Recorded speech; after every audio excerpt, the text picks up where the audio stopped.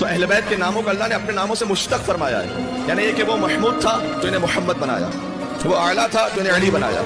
वो फातिर समावत वलाज था, इन्हें फातिमा जहरा बनाया। वो मोहसिन था, इन्हें हसन बनाया। वो कदीम एहसान था, इन्हें हुसैन बनाया। बात आगे है, वो मबूद था, इन्हें जैन आबिदीन बनाया।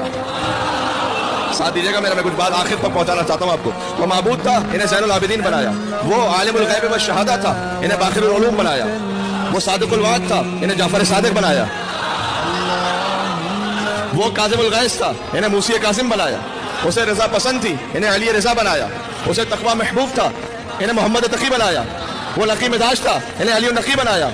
वो अस्कराना शान का हामिल था। इन्हें हसन अस्करी बनाया। और गौर कीजिएगा, वो खुद गायब था। लिहाजा अपनी आखिरी